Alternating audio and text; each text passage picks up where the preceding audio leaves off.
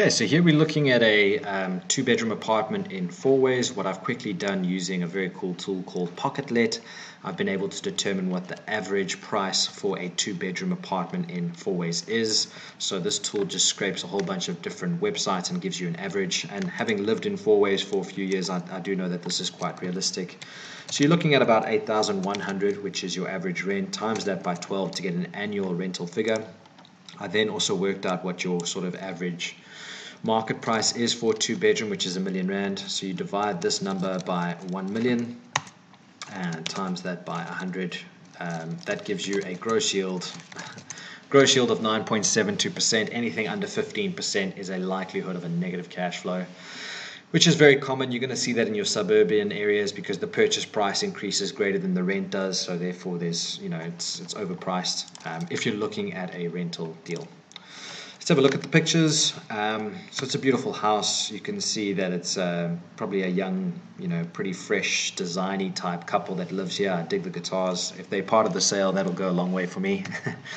Um, but yeah, you know, this is a great property if you want to live here. If you want to buy it as an investment and rent it out, I don't think it's going to be a good deal. And that's the way you got to look at it. Is it an investment that I want to go and live in? Then the emotional impact adds to your decision making. But if you're looking at a purely financial decision, this deal probably won't make positive cash flow from day one. It might appreciate in capital, and we'll look at how the numbers look for that. But that's again speculation. Um, but yeah, property looks great. Uh, there's a pool, it's in a security estate, so there's definitely going to be a levy associated to it. So I've got the My Property app open here. Let's run the numbers. So they're asking uh, 1075. Um, sorry, 1075. So a million and seventy-five thousand. Based on my experience and my knowledge of the area, if you can get a 5% discount, that's that's maybe achievable. More than that, unless the owner is really, really motivated, is unlikely. So that's why I've gone with an offer of about one million and twenty thousand because I think that would be achievable. And then I'm using here the uh, 8,150, the rent that I got from Pocketlet as an estimate. Next, I can go to the buying costs. Uh, here on ooba, it's telling me that um, 60,000 will be my buying costs. I'm going to put that in there. There won't be any renovation costs or any other costs, so I can skip through to the finance costs. Let's assume I can get a 90% loan at 9%.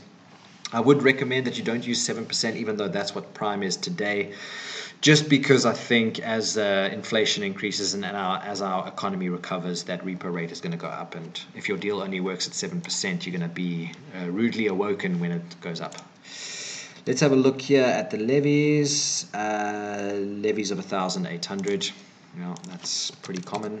Rates and taxes probably 650. That's what I'm paying for my unit there. Insurance will be included in the levies.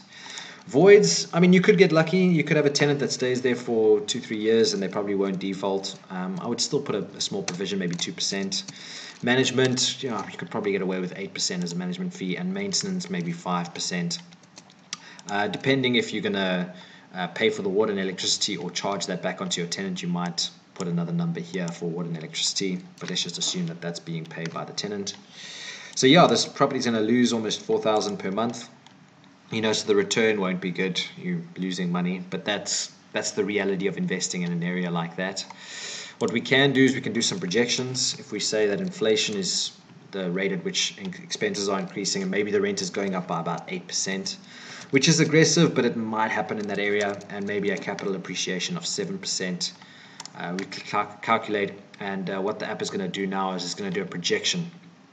So what you can see here is year one two all the way through to about year eight it's going to be a negative cash flow.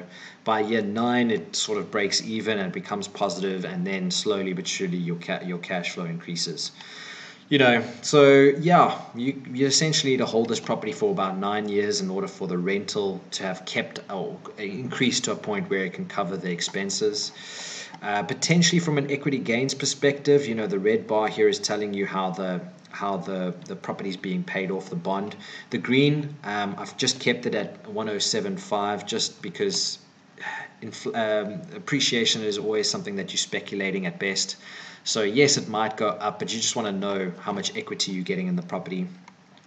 So all in all, what I can say, um, not a bad deal if you're looking to live there and it's an emotional asset, but from a purely uh, cash flow perspective, I would say uh, this is not an ideal investment.